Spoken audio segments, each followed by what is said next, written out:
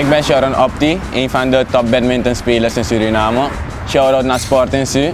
Check it, coming soon. Read.